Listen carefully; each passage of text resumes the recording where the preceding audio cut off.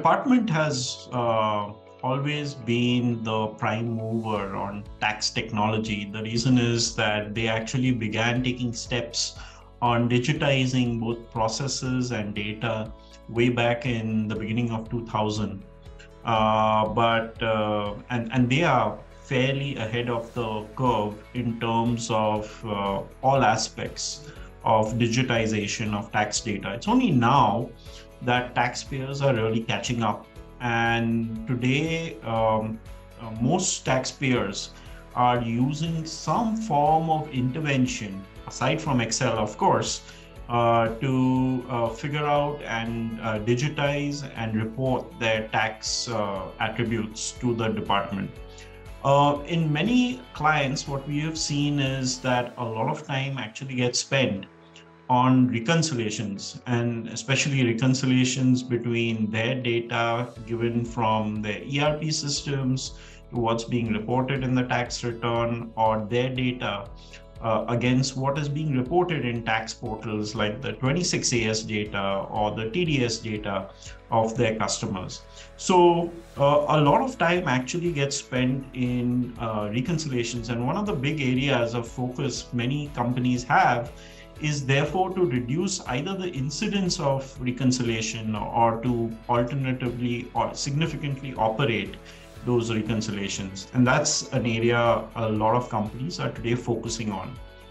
What companies perhaps need to focus on in the future is how uh, AI and data analytics can come in to kind of help uh, make certain tax choices Today, uh, actually, a lot of those choices are made manually, uh, but there is potential for e- uh, AI learning and certain types of interventions by computer databases to be done in order to improve the quality of choices that are made uh, at the time of filing a tax return. An example of that would be a tool that perhaps looks through all the 43B type of disallowance situations based on case law before deciding whether the amount should be claimed or not claimed in a tax return. Uh, there is a tremendous scope for growth in those sort of offerings, and I think we are just still scratching the surface over there. Other areas of focus for many tax organizations include reconciliation of their reporting that they have done either to the company law board as part of corporate reporting or to the GST authorities for uh, GST reporting. And many times, what happens is that a set of reconciliations need to be done between all three sets of records. And if data can be pulled from one single data lake, then that could significantly shorten the time for those reconciliations. So, a uh, two pronged approach is ideal. One, avoid reconciliations where they can be avoided, and two, uh, where they cannot be avoided, then try and use a single source of data and uh, to minimize the amount of reconciliations that need to be done. Other areas uh, that are being looked at in terms of computerization, including uh, reporting for audits in as part of faceless assessments. The department continues to follow the traditional approach of asking for information via email checklists.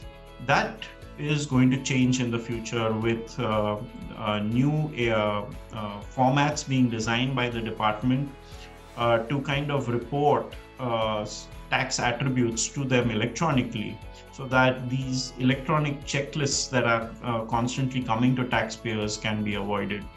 Uh, this is going to be a trend in the future, and this will also help meet the purposes of faceless assessment because it's cutting out the intermediary, the manual intervention for making those checklists and then examining the information furnished by taxpayers.